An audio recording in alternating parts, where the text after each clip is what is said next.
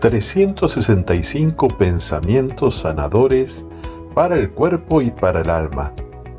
Un nuevo día para encontrarnos con Dios. Una oportunidad para purificar nuestros pensamientos y vivir una jornada colmada de bendiciones.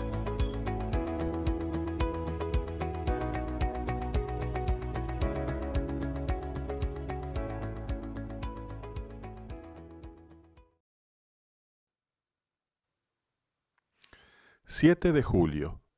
Pídele a Dios el don de la prudencia en todas las etapas de la vida.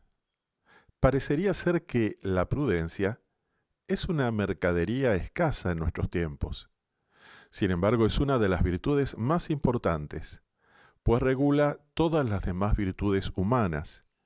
Ella nos indica cuándo hablar, qué decir, y también cuándo es mejor guardar silencio. La prudencia nos guía para obrar en el momento oportuno. También nos enseña a estar atentos y protegidos contra todo mal. Por lo tanto, sé prudente y mantente atento. Los que hacen el mal no se toman días libres. Llénate de la luz de Dios para poder rechazar cualquier jirón de tiniebla que quiera contaminar el brillo que hay en ti. Con la oración, el amor, la fuerza de los sacramentos y la sabiduría del Señor puedes rechazar toda oscuridad. Mateo 10:16, yo los envío como a ovejas en medio de lobos.